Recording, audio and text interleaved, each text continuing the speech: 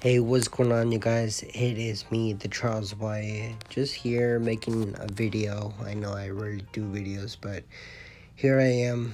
Um, today, I am going to teach you guys how to change Siri's voice and etc. So, what you do is uh, not pictures, obviously, settings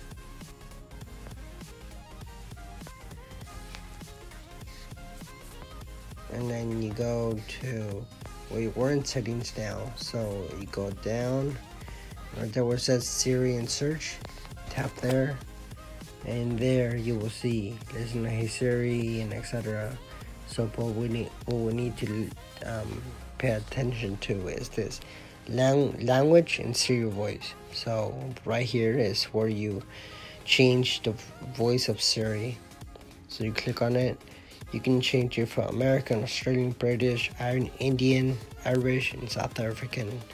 And then the gender, male or female, um, to your liking. So, and um, you know, the language right here, you can like Spanish, Turkish, all the way to Arabic.